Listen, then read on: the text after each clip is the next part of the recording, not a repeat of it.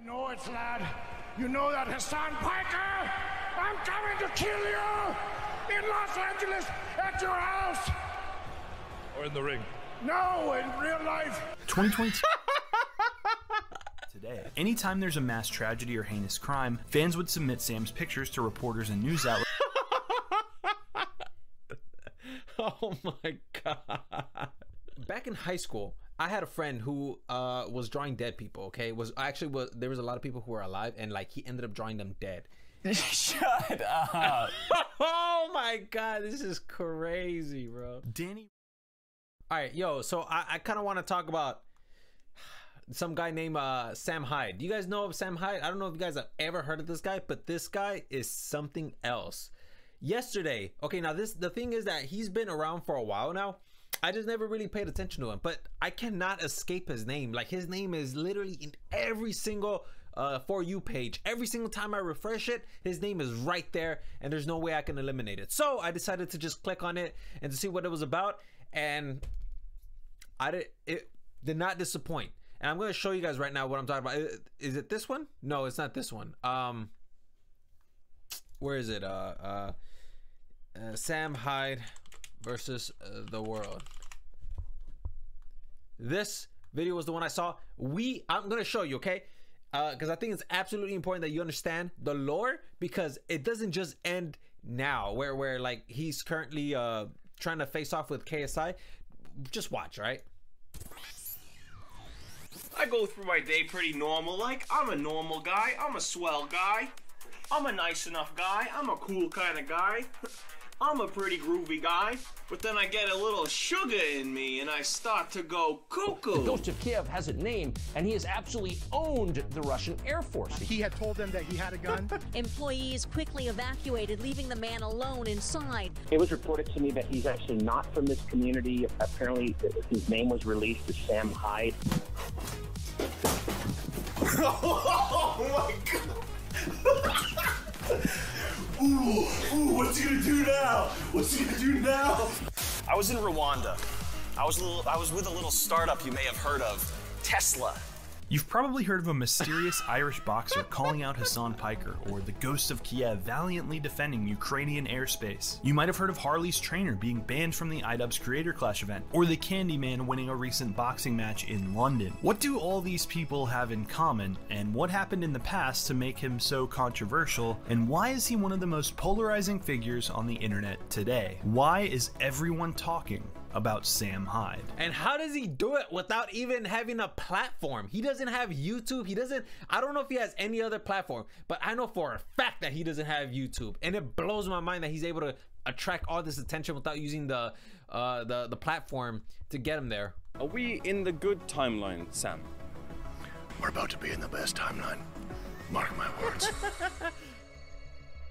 Sam is from New England and went to college at Rhode Island School of Design, the same college as people like Seth MacFarlane and James Franco. Sam wasn't a big fan of college, and by the time he graduated in 2009, he was totally disillusioned with it, saying his dad had paid a quarter of a million dollars for him to study stuff he could have learned on YouTube. In 2011, over half of college grads under age 25 were unemployed. What? That doesn't make sense. The same year, Sam and his friends Nick Rochefort and Charles Carroll started a comedy group they called Million Dollar Extreme, or MDE. The group posted regularly on YouTube, and the content varied from Sam giving monologues on different topics to doing sketches as different comedic characters. But one of the most popular series the group posted was Kickstarter TV. Sam would find the most memeable Kickstarter people asking for money and then put them on blast for content. Coincidentally, there was another YouTuber with his own series at the time who was doing almost exactly the same thing. That YouTuber's name was Ian aka iDubbbz, and his series was called Kickstarter Crap. Reviewing all these Kickstarters gave Sam an idea. But it's not a scam. The whole plan from the get-go was to deliver a game and have it be sort of laced with um, like MDE humor. MDE was making their own video game, crowdfunded on Kickstarter. They asked for $7,500 to make a My Little Pony dating sim game, and their intended target took the bait hoof, tail, and saddle. There's a lot of crap to sift through on this one, so buckle up. Dark Skies, an epic brony dating sim. Let's meet the ponies of Royal Pony Academy here in Cirrus City. Oh, wow, I was trying to read it. My name is Pumpkin Pie, and I'm the smartest pony in the whole school. Ian's video was the same as the rest of his Kickstarter crap series, a scathing dunk on who he believed to be some scummy people posing as indie devs trying to swindle people out of their money. What he didn't realize was that Sam Hyde and his crew were behind the whole thing. Sam then copyright claimed Ian's video where he talked about the game. Behind the scenes, Sam had offered Ian a way out. Sam wrote an email to Ian that he would release the copyright claim if Ian met certain terms, but Ian did not take him up on that offer, so the video stayed copyright striked. None of this was known to the public at the time, nor were the terms of Sam's deal, and to people not familiar with MDE, it just looked like disgruntled indie devs had striked a YouTuber out of anger. Ian would not forget this, and this interaction would come full circle many years later. After their initial success on YouTube, MDE started to expand their work into the real world. Sam somehow got into Rutgers as a guest speaker with a wig on and told the students that college is a scam. Another stop on their tour was at a Williamsburg weird Twitter meetup. Sam got on stage at the open mic and started reading off a bunch of unverified homophobic stats and quotes. At the beginning, the audience was laughing and clapping, but by the time they realized what was going on, they were in full revolt. The fact that OCD and bipolar disorder are uh, are um, um, well, I'm trying to get a message across here because I, I understand you guys have seen some funny stuff, and maybe you're ready for some sort of thing that's you know a little bit more uh, intellectual. I don't know. Sorry. Uh, if you don't want to be go ahead. Well, I'm having a big laugh too, uh, just looking at you, man. Have a nice night.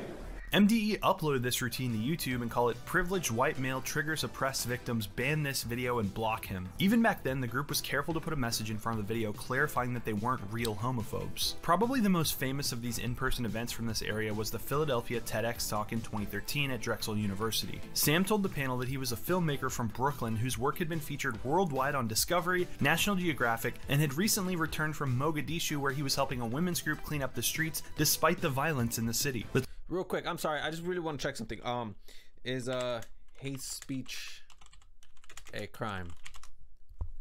Uh, hate speech and hate hate crime. Uh, I wish there was just like something that could just answer that real quick, but hate speech and hate crime, hate speech, hate crime, hateful uh, conduct, libraries, hateful conduct, First Amendment, true free expression, bias, behavior, conduct. A hate crime is a crime motivated by bias against race, color, religion, nation, national, or whatever.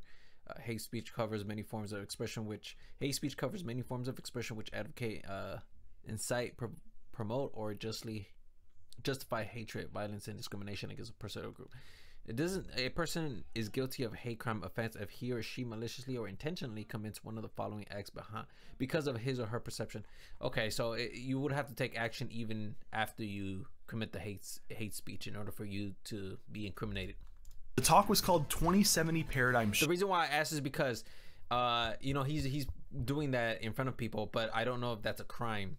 Uh, you you already know how it is on YouTube and all these other platforms. They always want to just like go ahead and ban these people for speaking out and. Uh, the way things are run on YouTube and the way things are run on TikTok, Instagram is not the way it's run in reality. So I just wanted to see if they both uh, corresponded equally, but it doesn't. So Shift, in which Sam lampooned TED Talks with pseudo intellectual stories and dark jokes. MDE started to get media attention around these in person events, and PhillyMag.com reported that TEDx Drexel had been pranked. It was also around this time that MDE's fanbase started one of the longest running in jokes on the internet today. Anytime there's a mass tragedy or heinous crime, fans would submit Sam's pictures to reporters and news outlets. Oh my god. They're sending pictures to the police. They're like, this is the guy. This is the guy who committed the crime. and claim he was the prime suspect. Trolling journalists became something of an art to MDE and their fans, and this would become one of Sam Bill O'Reilly, Calvin Candy. That is funny, man. defining characteristics on the internet. In late 2015, MDE let fans know they were pitching their sketch comedy to TV networks, and in early 2016, they finally got their big break. Adult Swim signed the trio to a 15 minute time slot with the name Million Dollar Extreme Presents World Peace. The show satirized anything the trio thought was funny, from 2000s emo band culture to office politics. It was irreverent, unhinged, and fit right in with Adult Swim's lineup at the time, which included shows like The Eric Andre Show and The Tim and Eric Awesome Show Great Job. World Peace was the highest rated show on cable in its time slot, and had as many viewers as The Eric Andre Show, making it a massive success commercially. But some of World Peace's sketches would end up getting them a lot of backlash. One article that's commonly attributed with kicking off the chain of events that led to the show's demise was released in August. It was titled The Alt Right Has Its Very Own TV Show on Adult Swim. In the article, BuzzFeed labels Sam as a quintessential alt right Twitter user who supports Donald Trump, hates Hillary Clinton, and more. BuzzFeed called Sam for a quote for the article and he attributed all of the tweets and Reddit posts to his assistant. So, Sam, let me ask you a couple questions if you don't mind. Yeah. Um, do you consider yourself a member of the alt right? Of Adult Night? Of the alt right?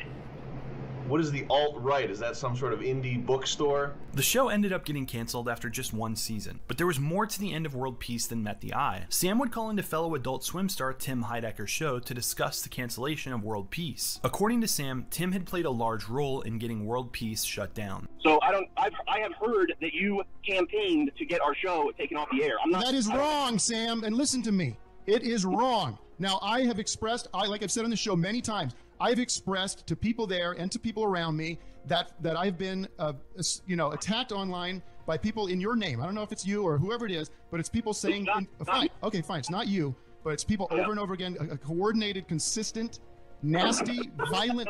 li- No, listen, violent, uh, death threats, all this, all that shit coming at me. And all I said, all I've ever said to anybody about the subject was, that audience, you know, has has has, has like, you know, an issue. That has an issue that doesn't seem to be dealing with. Tim did later go on to admit that he had supported his friend at the network when he made a push to get World Peace canceled, but Sam Hi- uh, Sam High argues with T- uh, Tim Heidecker over world peace cancellation. This was five years ago. That is insane, man. Like I can't believe like you would want to. Uh, what was his like fan base at the time? I didn't get your show canceled. I just supported a friend closely in his efforts to get your show canceled. so essentially, so essentially, you you you uh uh, you, you assisted in canceling the show. And he said you were a big part of it. So I wonder if you're trying to downplay it with words. I'm pretty sure that he probably had a bigger role in it. Uh, because now I don't believe him. I don't believe Tim uh, Tim Heidecker anymore because now he's saying that he he just wanted to go support his friend in uh, canceling the show. Like, bro, what, uh, like you lost our trust now, dude. I don't know what, what what this is supposed to. I mean, this exposes you to us as being somebody who will downplay anything just so you don't look bad. Just thought. but only because he supported that friend no matter what he does. With no Adult Swim show, Sam and the MDE gang went back to making YouTube content. Hey, real quick, I just want to share something with you guys. Okay, look, back in high school, I had a friend who uh, was drawing dead people. Okay, was actually was there was a lot of people who were alive, and like he ended up drawing them dead. And I had a uh, one friend, actually two friends, but one friend who wanted to go and snitch on him. Now, the guy who was drawing dead people, I knew him personally, and I knew that he would never hurt a fly. And I actually talked to him, and I understood him. Uh, he never had guns or any of that stuff. He was never planning on shooting up everything. He was a really friendly guy, but he was just drawing his bullies, people who were mean to him, because that was his way of coping with what was going on in high school. This, I was with that guy who reported him. I was with that guy, and I told him, you know what, bro, I'm not gonna go because I feel like I'm putting my friend in jeopardy. Like I feel like I'm being a part of it, and I'm being a part of like putting him away. Um, if you take part in something like that, most definitely you're gonna be a part of it. Most definitely, it doesn't matter. It, it doesn't matter if you're supporting a friend. You're still there, bro. You're not talking any sense into him. So I felt like I would have betrayed him that day if I would have actually gone. And to say that you didn't take part in it, you definitely did take part in it because you're supporting a friend. So I don't know. Maybe he just stood there. I don't know.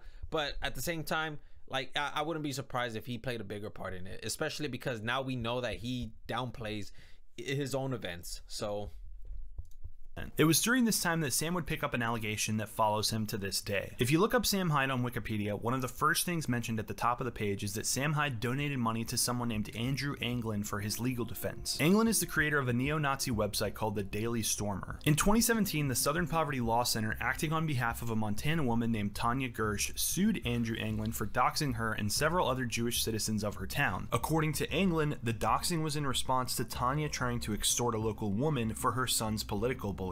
Anglin hired an attorney and then raised $150,000 through online donations to pay for his legal fees. One of these donations had a familiar name on it Sam Hyde. LA Times reporter Matt Pearce. One of these donations had a familiar name on it.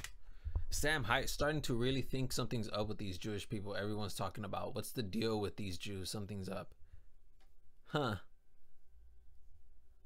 Interesting. Sam Hyde. LA Times reporter Matt Pearce reached out to Sam to ask about it. Here's what the article said Hyde asked the reporter if he was Jewish and then boasted that $5,000 was nothing to him. Don't worry so much about money, worry if people start deciding to kill reporters. That's a quote. For the reason why, you can say I want reporters to know I make more money than them, especially Matt Pearce. Anglin ended up losing the lawsuit and Tanya was awarded a $14 million judgment. To this day, people debate if it was actually Sam at all who made the I like that Sam doesn't hold your hand and tell you that this is a joke all the time because that he'll always be a niche. Uh, that of because of that he'll always be a niche thing.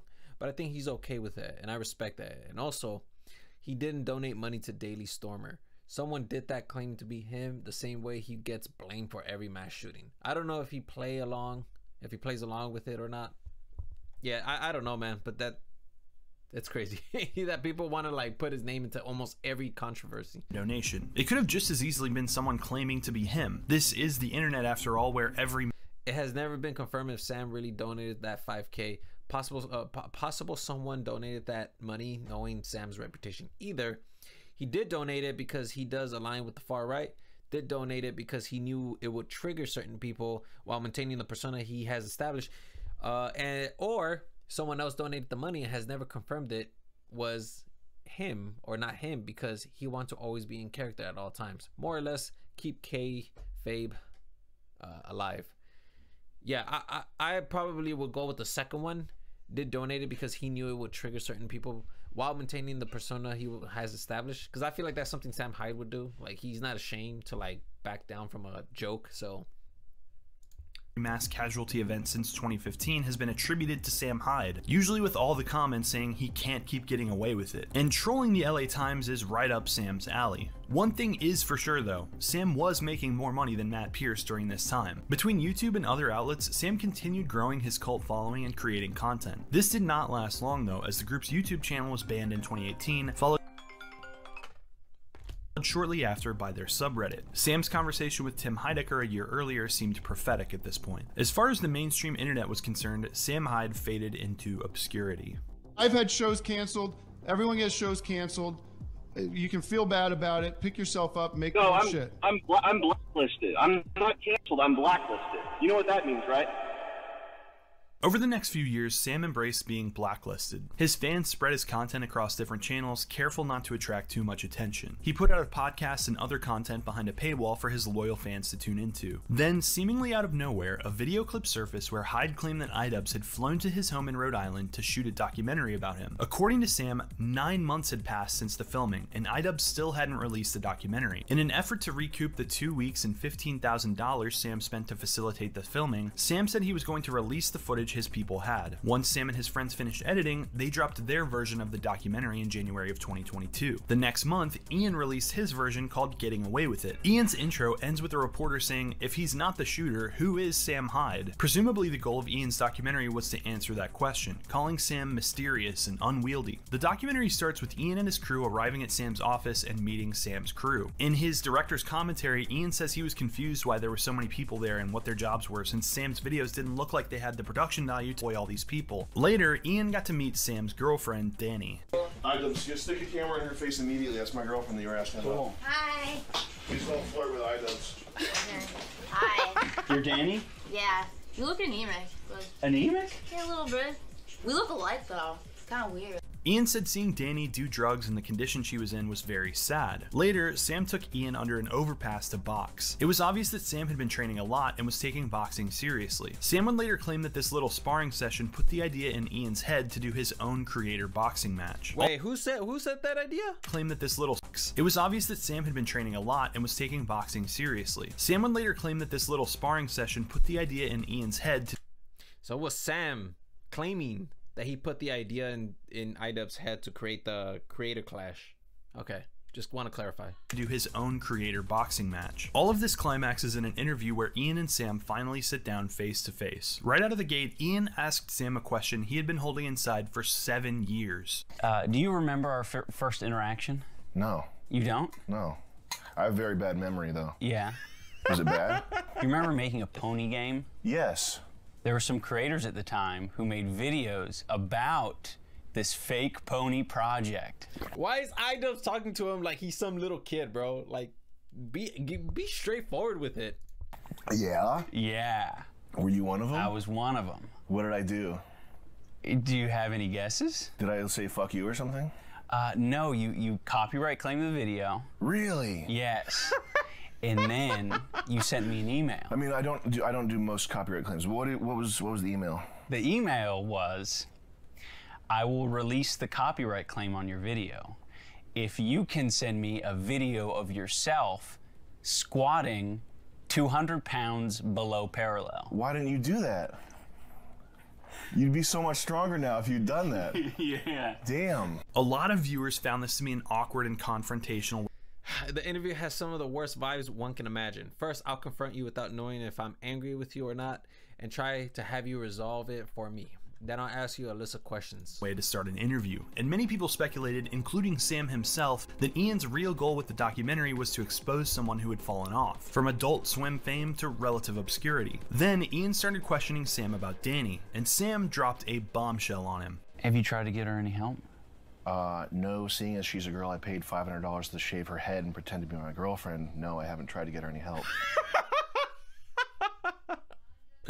So it's an actor. Should you want me to try? Wait, okay. I don't know her that well. It's probably not my business to get her off drugs. Also, I think I told her to put her hand in your pocket and pretend to be on drugs. Shut up. oh my god, this is crazy, bro. Danny wasn't Sam's girlfriend at all, but an actress he had hired from a local community college. The office wasn't his real office, but one Sam had rented specifically to troll Ian. Everything Ian had filmed for the first three days of the shoot was an elaborate hoax that Sam and his crew had been planning for months. Sam's version of the documentary showed a completely different story from Ian's. They created a four page document on how to gaslight iDubbbz. A song with the hook swag like high dubs. Hmm. Stage fight over who gets to use the alias Cream Boy.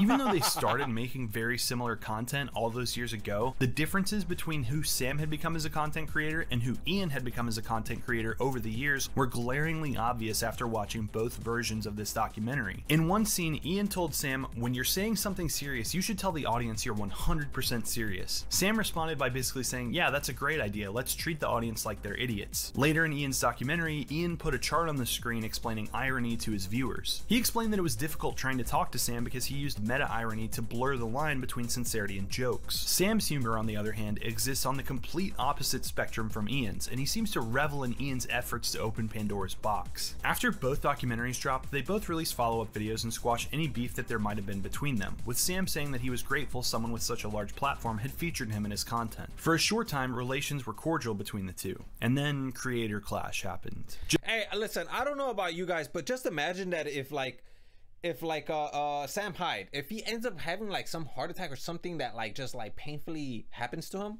in the middle of like all these people that know him, do you really think that people are actually gonna go to his aid? Or people are gonna suspect that there's something wrong? Because I cannot imagine like a scenario where people will be like, "Oh my God, is Sam ha- is Sam Hyde okay? Is he okay? He's suffering a heart attack." I cannot imagine that because he just doesn't take anything serious. I don't know, man. I feel like that's you're put, kind of putting yourself in a dangerous situation. I guess you could say that like you know people aren't idiots, which is a way to like deflect. But I don't know. That's just something like there there is like a blurred line there, and I think iDubbbz is uh, correct on that. I agree with him on that. Uh, but then again, I don't really know Sam Hyde like that. I don't know if he ever turns it off or not. You know, when I say turn it off, I meant like his humor, his sense of humor. Does he ever turn off his sense of humor? I don't know.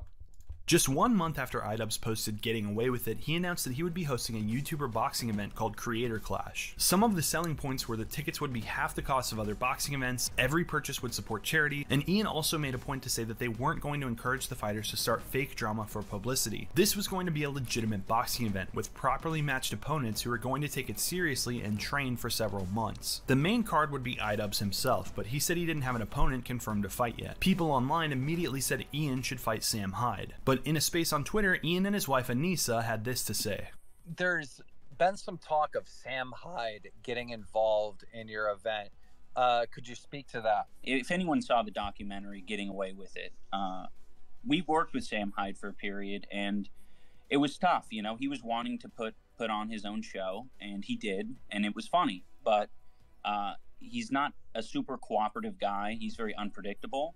So involving him in our event just isn't a good idea. I It's think just most a people massive would. business risk. I think That's- most people would understand that. Yeah, it's a huge Um, business risk. People on the internet generally were not happy about Sam not being allowed to fight. Sam found a way to become involved anyway by becoming the trainer for Harley from Epic Mealtime, who would fight Game Grumps host Egoraptor. Finally, the day of the big fight in Tampa came on May 14th, 2022. When Sam and his crew showed up, something unbelievable happened. Were you under the impression that you were going to be on this card at any point? No, I didn't think I was going to be on the card, but I didn't I didn't realize at any point that I was going to be blacklisted from a charity event. That I bought five. I got five front row tickets. Uh, it was ten thousand dollars, and it's for charity. And supposedly, I'm going to be refunded this money. So I guess he he wants me not around badly enough that it's worth taking away ten thousand dollars from charity. That is crazy. You see, that's the genius of, of Sam Hyde. Like the fact that he knew that he kind of quartered him in his own game. Like he ended up paying ten thousand dollars. Who wouldn't want to donate ten thousand dollars to charity, right? It looks good, but when he donates it, it's almost like he's putting Ian in a in a corner. He's kind of like has him on a check, and he has he has his king on a check, and then he also has his queen on check, and now he has to like move his king and now he has to sacrifice and now like the queen is gonna be taken. I feel like that was like a crazy move from sam hyde. And also um at the same time i don't i don't know what his intentions are. I don't know what sam hyde's intentions are when it comes to that. He said he bought five of them? What, what do you need five of them for? He probably bought five of them for like his friends but i don't know. I don't know. I don't know.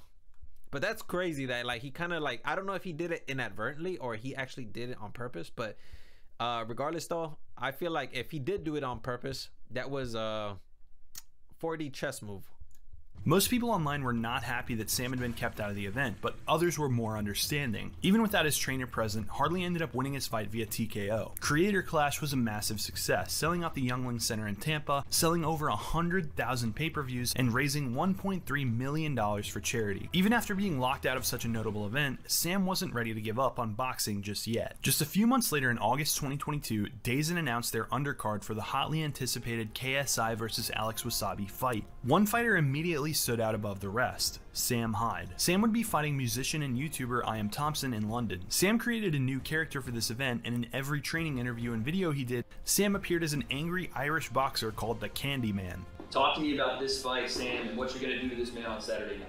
Oh, I done it. Have you heard much Irish folklore? I haven't heard a lot, but I'm sure you're gonna tell me. Sam also made sure to call out popular political Twitch streamer Hasan Piker, saying he wanted to fight him next. Sam would go on to definitively win this fight, but it wasn't the win that grabbed the internet's attention. Oh, you know it, lad. You know that Hasan Piker. I'm coming to kill you in Los Angeles at your house. Or in the ring. No, in real life. 2022. oh my god, that was that was good, man. I was look, I had watched this clip yesterday, and I could not stop thinking about that little clip right there. Like it was so funny, man. I, you should have seen me yesterday. I was just dying of laughter. It was too hilarious. 2 has seen a massive return of Sam's popularity in mainstream internet circles, and people just can't get enough of the Candyman. I'm sure we'll see him in the ring again very soon. Sam is like Schrodinger's comedian. The harder you look at him, the less sure you are about anything. You can put him under a microscope, try to ask him hard hitting questions about what he believes, try to catch him in some kind of lie or gotcha moment, and he will look you straight in the eye, answer your question, and leave you even more confused than before. This confounds people like iDubbbz who probably see the humor in Sam's comedy and want to like it, but are afraid to be a fan of him just in case he actually holds controversial views. Personally, I don't think Sam wants us to care this much about who he really is or what he really believes. I don't think he thinks it's that interesting. In Sam's world, who is interesting is the Ghost of Kiev and the Candyman. In a lot of ways, Sam's jokes are about offensive, dark, post-ironic humor, and his punchline is the audience. So you got to be thinking to yourselves right now who's this 22 year old kid up on stage with a chip on his shoulder and his heart on his sleeve and the world in his eyes? Well, that's a tough question, asking somebody to define who they are. I much prefer to ask what inspires that person? What inspires you? If you like this video, you'll probably like my video I made about iShow Speed. Ah, I love I Show Speed, but we're not watching I Show Speed today. Um, yo, man, that is. I'm telling you, Sam Hyde, dude. Like, I just became. I'm not a fan of Sam Hyde yet because I don't know what's up with him. I, I need to know more about him. But everything, every single time I see Sam Hyde, like a new video of him, uh, I just, I'm a little more like, damn. I started to become more and more of a fan of his. Let me show you this video, okay? I'm gonna show it to you guys. I don't leave it in the description below. I highly, highly suggest that you guys take a look at it, which is this one, Sam Hyde, The Road to Hasan. The Candyman has arrived. This is an absolutely beautiful piece of uh, of content. Take a look at this. Watch this on your own time. And it's just a bunch of people that are just because like Hasan Piker, the thing is that with Hasan, he kind of likes to like just talk. He talks a lot. And a lot of people don't like that. Don't like him. Don't like him because he does that. All he does is just talk and talk and talk. And not to mention that he won't even like if you have a problem with some of his beliefs, he won't even like look you in the eye. He won't even talk to you. You know what he'll do instead? God damn it, like fucking like. You know what he'll do instead? Instead, he'll just talk about how you have no clout and you're just trying to chase clout and that you're a nobody. So why should he interact with you? Like, it's so annoying when I hear him say that shit. It's like, bro, like, have somebody challenge your ideas. Like the whole thing with Andrew Tate, I thought that was pretty cool. But what about other people who have problems with your with your uh, belief system, like Destiny? I've always wanted to see Destiny debate Hasan, but Hasan won't do it. You know why? Because Destiny doesn't have the amount of clout that he does, and only somebody who has a, a, the same amount of clout will he then interact with.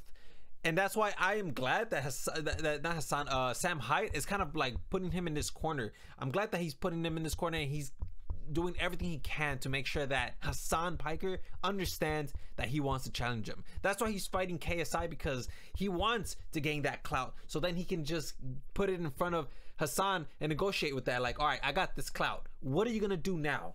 What can you do now? Because I have the clout. You want clout. You say I have no clout that I'm irrelevant. Well, now I got the clout. What are you gonna do now?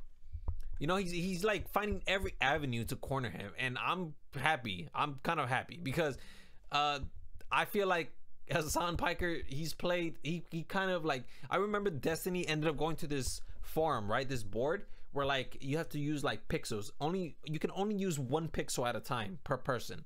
And I remember he had his dog there, and everybody was just all of Destiny's uh community went, and they went to go uh erase the dog, his dog, and to be fair, that was his dog that had passed away, like I think a week or two weeks before, but they had covered it up.